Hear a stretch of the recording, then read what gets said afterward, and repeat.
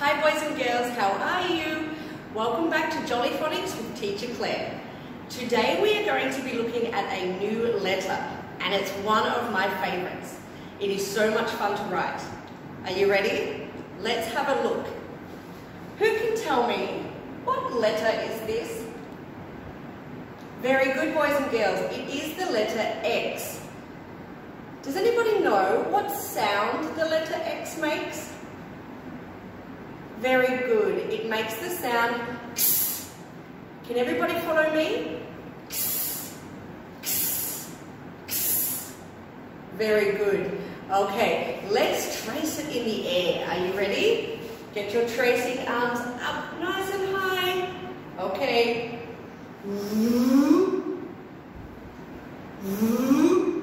Okay, one more. Are you ready?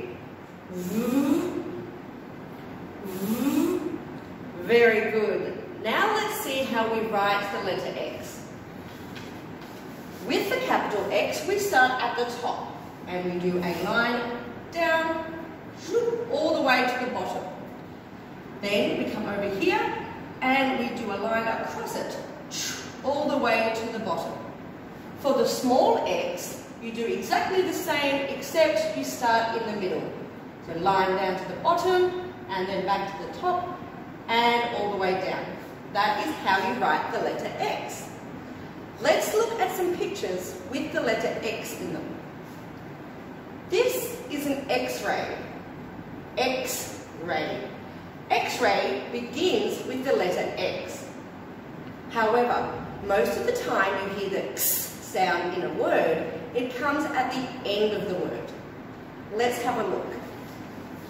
Who can tell me what this is?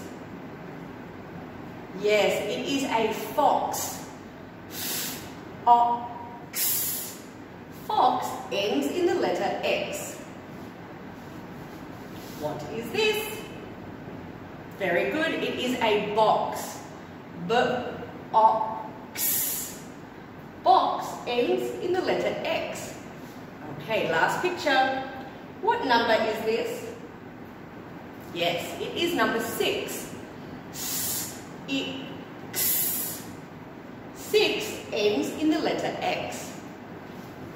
Okay, boys and girls, I would like you to get your Jolly Phonics books out, please, and do pages 49 and 50. Make sure you are also checking YouTube and Telegram for more videos about the letter X. Bye!